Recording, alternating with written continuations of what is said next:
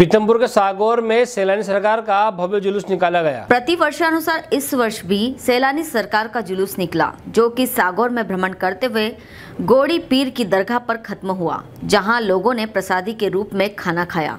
पीथमपुर से संजय सोनगरा की रिपोर्ट। ये हिंदू मुसलमान की मुसलमान की एकता और ताकत का है। इसे हमारे सदगुरुदेव मोहम्मद हनी मस्तान रहमान सैलानी सरकार का हर साल उर्स मनाया जाता है।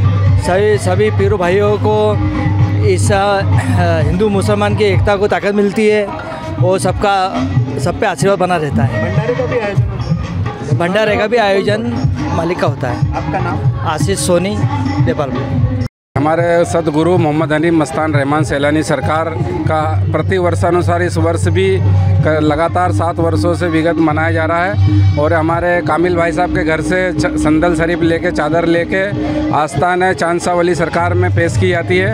उसके बाद के घर से। हाँ कम्मू हाजी साहब के घर से और उसके बाद सब यहाँ पे लंगर एहतमाम किया जाता है। सब हिंदू मुस्लिम सामाजिक समरसता का एक बहुत बड़ा बिंदु है और इसमें सारे भाई मिल के सब हिंदू मुस्लिम मिल के इसको मनाते हैं। प्रति वर्ष अनुसार और जो भी लोग मन्नत लेकर आते हैं अपनी बाबा अपने कर्म से उनकी झोलियाँ भरते हैं और सब सद्भावना के साथ बड़े ही सुकून और मोहब्बत के साथ इसको मनाते हैं। हक सैलानी जय सैलानी। आपका नाम? मोहम्मद फारूक खान।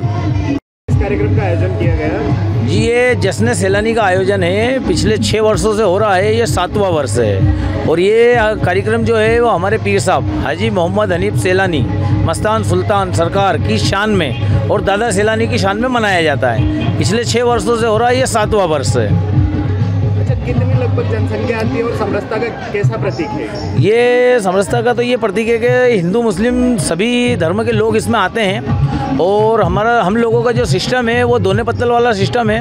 कोई भेदभाव नहीं है, एक ही पंगत में बिठा के, एक ही पंगत में बिठा के सबको खाना खिलाया जाता है। और दूसरी चीज़ ये है कि इसमें सभी धर्म के लोग बढ़ चढ़ के हिस्सा लेते हैं। लगभग कितनी जनता आती होगी? इसमें पाँच से छः हज़ार पब्लिक आती है और हर साल पब्लिक दिनों दिन बढ़ती जा रही है। मेरा नाम मोहम्मद कामिल खान।